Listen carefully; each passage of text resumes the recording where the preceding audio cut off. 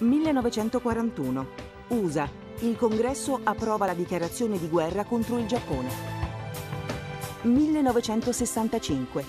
Papa Paolo VI chiude il Concilio Ecumenico Vaticano II.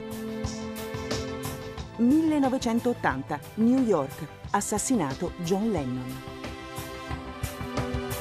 Commenta il fatto del giorno Roberto Papetti, direttore de Il Gazzettino. Oggi parliamo di uno dei più grandi scrittori veneti e italiani, Goffredo Parisi.